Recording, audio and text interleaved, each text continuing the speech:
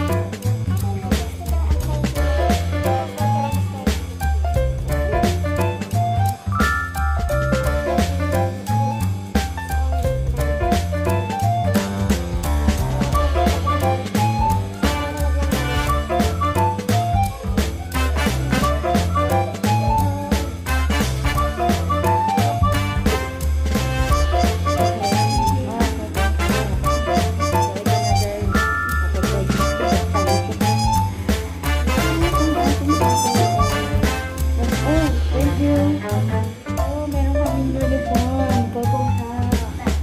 Wow, thank you. Excited na ako. Ah, it's a bag.